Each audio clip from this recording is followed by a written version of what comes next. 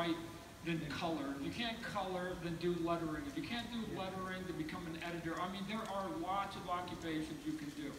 So, so apply yourself to do it. Here's what I know. There's Artist Alley for all you guys who've been out and gals who've been out in Artist Alley. There are hundreds and hundreds of people out here, right? They're not all professional. I don't know if you know that. They're not all professional. And the term, here's my definition of professional. They've done eight or ten books for one of the big companies, right? One of the top five, six companies. Some of them are just good artists that haven't been given the break. And so they get four feet of space and they put up a little sign. and say, for 20 bucks, I'll do a head sketch and I'll do a drawing. And they walk away with thousands and thousands of dollars. What, on a, on a tier of, here's the good artists, a lot of them about average. I've even seen some below average, but they walk out with a lot of money. And so I'm just saying that you don't have to be great at any of it. You just have to say, heck, I'm going to push myself. I'm going to go and spend a couple hundred bucks getting a table, and I'm going to sit back, and people are going to come up to you, and they're going to give you money to do it if you're actually decent. So stop talking yourself out of it. Stop talking yourself out of it. I know for a fact that I, there are about a thousand people that are way more talented and skilled than I am. Here's why I have been able to elevate myself. One, I'm tenacious, right? I am stubborn. I am competitive, and I'm a warrior at heart, and I have never backed down from a fight, ever. Now, that's a personality trait. You can't put it in people, right? You're either a biter or you're not, right? I'm a biter, right? Now, I don't start the bite. But if you bite first, fuck yeah, I'll bite back, right? so, so that's, that, but again, you can't put it in people. So you have to do it so I go, okay, that's me. But I, I just am saying, find your space and go and make it, because here's what I know for a fact. There is no human being that wakes up on this entire planet and their first thought is to do me a favor. And it had, it's been true um, since I was a kid, and it's true now that I'm 57. There is not one day that one person, not even my mom, and I love my mom and she loves me, but she knew every day she had to wake up and she had to be the best person for herself so that she could take care of her children. She took care of herself first, then her children. So I still was second. Sort of hurtful now that I think about it, but it's true.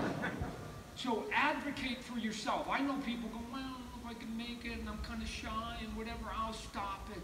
Stop it. Because nobody will advocate for you like you. Fight for yourself, right? Come on, you're good. Do it, do it, do it, do it, do it. Get up there and do it. I'll set you up. I'll set you up for the people who say, well, you know, I, I can't take failure and whatever else. Man, there's a, there's a lot of occupations and you better not get into. But let me see if I can help you because it helped my career and, and it's one of the things I learned along the way. I'll, I'll get you to get through life in a positive fashion. And this is easy. This is so if you're not an artist and you're not young, you're not going for a job, this will still get you through life. Wake up every morning and say these words to yourself. Today is going to be imperfect. If that's the first thought in your head, today will be imperfect you will nail every single day of your life. First time somebody cut you off, nailed it. First time somebody honks their horn, nailed it. First time somebody gives you cold coffee when you had hot coffee, nailed it. Somebody sends you a bad email, nailed it, nailed it. You will nail it every single day of your life. And pretty soon you'll be like 40, 50, and you have like a 27,000 day hot streak because you got it right every single day. The days that break your heart are the ones where you got up and you thought it was going to be perfect. And then you go, why would that person give me that email? Why would they cut me off? How come my service isn't good? How come, how come? Ah, you thought today was going to be perfect, right? It gets tough. Just assume it's not going to be perfect and you're going to be a winner every day because you're going to get it. Now, let's apply that to interviews. When you go into an interview, give it the best you've got at all times. Give it a best you've got, give them everything you have, and assume one thing, you're not getting the job. If you assume you're not getting the job, you will never, ever be disappointed. This is the thing, stop torturing yourself. Assume you're not getting the job. So this is how it works. You do the interview, You leave and you go, am I getting a job? No. And you walk out the door and you go, nailed it. Right, cool, I got it. And then two more rejections. Nailed it, nailed it. And pretty soon, you're gonna have this Cal Ripken Jr. streak. And you're gonna go, wow, I've been rejected like 120 times. I'm on a streak. And every time I knew they weren't gonna do it. And you know when they're gonna mess up your streak? One day you're gonna go to the interview and you're gonna go and then you're gonna get up and gonna go, Todd, where are you going? I go, oh, you know, you're not gonna hire me. And they go, no, we, Todd, stop. We're gonna hire you today.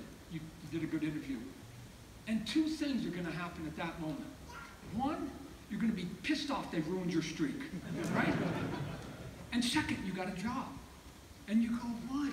So the day my streak gets broken is the day I get a job? It's a pretty good day. And every other day, you nailed it.